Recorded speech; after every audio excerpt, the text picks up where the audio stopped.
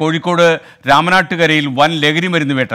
ഇന്ന് മൂന്ന് ലിറ്റർ ഹാഷി ഷോയിലാണ് ഫറൂഖ് എക്സൈസ് പിടികൂടിയത്. വിപണിയിൽ മൂന്ന് കോടി രൂപ വില വരും. സംഭവത്തിൽ പയ്യാനക്കൽ ചക്കുംകടവ് സ്വദേശി അൻവറിനെ പോലീസ് അറസ്റ്റ് എക്സൈസ് അറസ്റ്റ് ചെയ്തു. കോഴിക്കോട് നിന്ന് വിശദാംശങ്ങളുമായി വി എസ് രഞ്ജിത്ത് ചേരുന്നു. ടെലിഫോൺ ലൈനിലാണ് രഞ്ജിത്ത് രഞ്ജിത്ത് എപ്പോഴാണ് ഈ സംഭവം? എന്തൊക്കെയാണ് ഇതിന്റെ വിശദാംശങ്ങൾ? വിഷു പുലരിയിൽ തന്നെ ഇങ്ങനെയുള്ള വാർത്തകൾ നമുക്ക് കൊടുക്കേണ്ടി വരുന്നു. എസ് കെ എൻ തീർച്ചയായും ഇന്ന് ഇന്ന് പുലർച്ചെ എക്സൈസിൽ നമുക്ക് ലഭിക്കുന്ന ഒരു വിവരമാണിത്.